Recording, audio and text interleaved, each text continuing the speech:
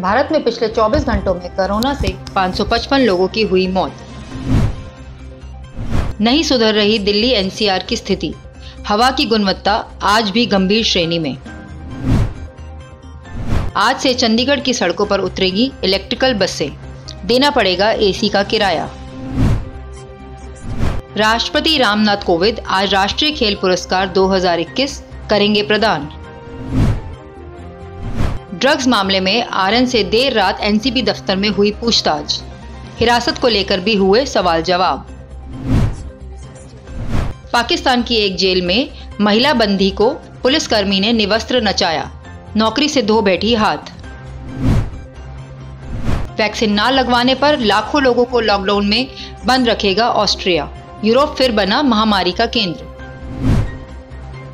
नई दिल्ली से झांसी जा रही ताज एक्सप्रेस के एसी कोच में लगी आग, लेकिन सभी यात्री सुरक्षित। वर्ल्ड कप फाइनल के बाद आज फिर से सामने होंगी ऑस्ट्रेलिया और न्यूजीलैंड की टीमें। रतलाम, चित्तौड़गढ़ रेल सेक्शन के बीच मेंटेनेंस कार्य जारी। 13 से 22 नवंबर तक ट्रेनों की आवाजाही होगी प्रभावित।